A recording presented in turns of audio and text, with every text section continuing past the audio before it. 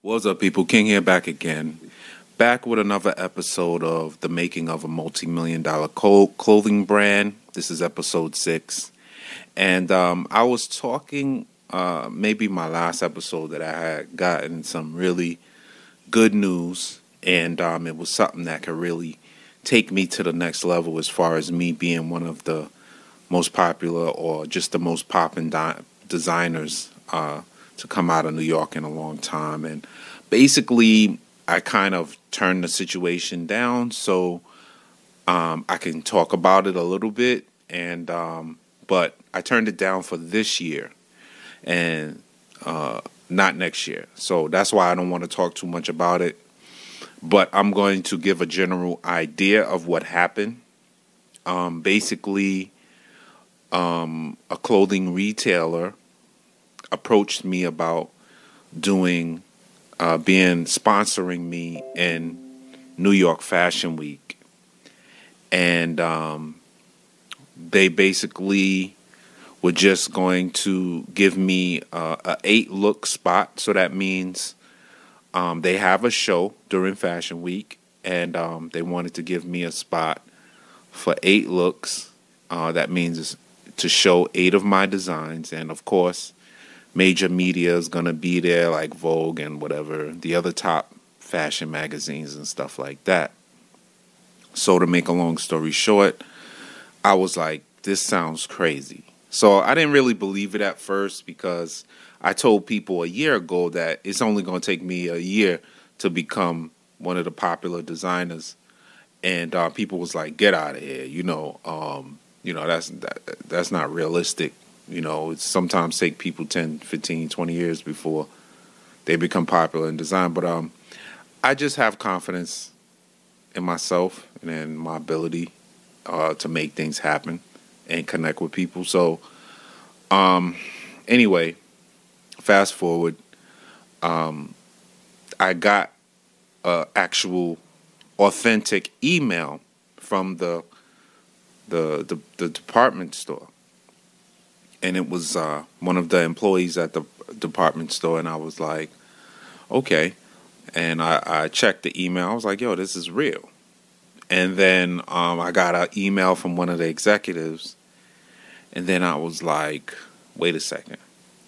You know, this is real. And then they sent me over information about the show, about my show time, and which media was going to be there and they listed everything out and it was like they gave they showed me pictures of past events and like I was like wow this is you know about to pop off real big so um I started sitting down thinking about you know the people that I lost and um you know where we are as far as the the virus and um I was like, you know, where are we gonna be in September during Fashion Week?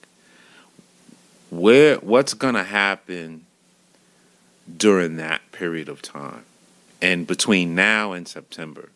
So I have no idea what's going to happen. I have no idea if people are going to even be going out again.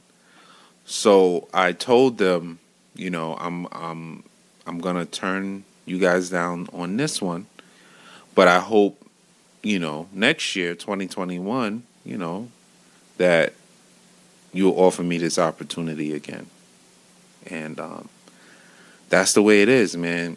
You know, I got offered an amazing spot in Fashion Week from a, a department store, and um, I was a, had an opportunity to display eight different looks, and um, you know, I turned it down.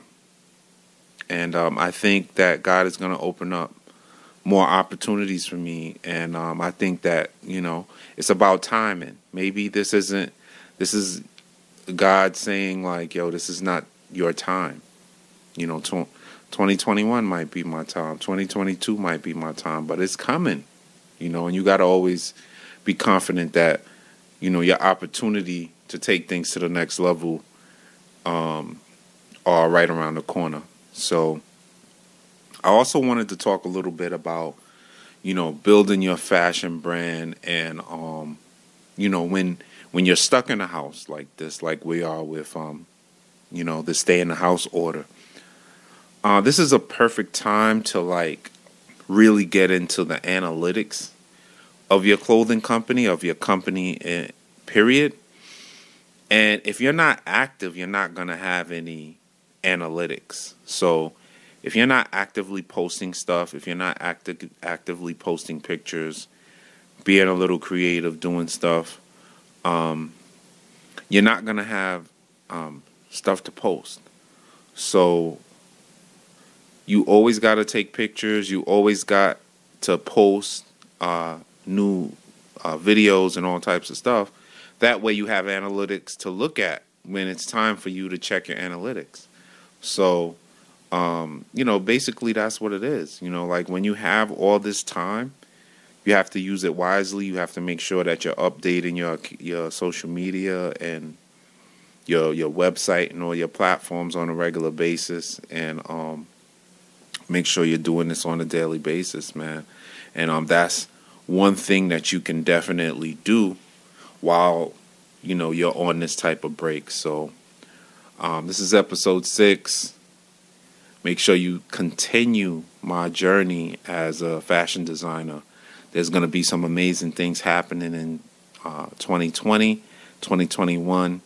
Stay up to date. Keep checking me out. Um, make sure you go check out my designs. I got a lot of new designs coming at uh, www.antoineking.com. All right, I'm out.